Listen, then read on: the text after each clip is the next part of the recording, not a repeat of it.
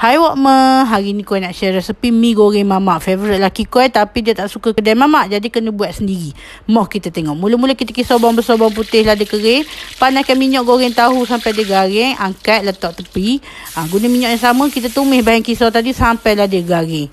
Kemudian kita pecahkan uh, cili api ketuk-ketuk masukkan. Perasakan dengan sos cili, sos tiram, kicap lemak manis. Untuk color pekat. Uh, tambah kicap pekat sikit.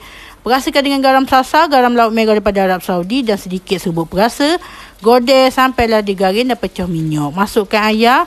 Ha, godeh sampai ayam tu separuh masuk. Lepas tu masukkanlah mi kuning yang dia dibasuh dan dituhkan sampai kering. Ha, godeh lah sampai dia sebati.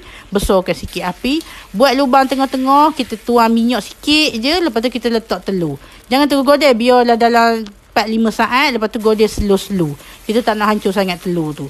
Ha, lepas tu godel sampai telur tu sekata masukkan sawi, masukkan tomato, ikut omelah nak guna sayur dia. Ha, godel sampailah mi tu nampak masak sekata. Lepas tu kita masukkan uh, toge dan juga tahu yang kita dah goreng tadi.